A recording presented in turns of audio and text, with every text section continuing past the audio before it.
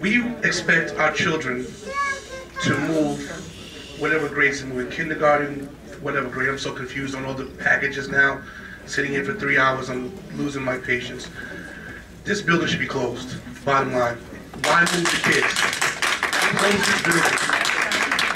It's it's less of a problem to move some adults and their stuff and their bags and their papers and their computers and everything else to another building. You don't have to agree with me. I could be wrong.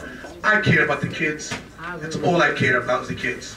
And if you close a school, you are killing some kids' dreams, some futures. There are the kids that are having problems right now that might be on the cusp of doing better are going to fall back.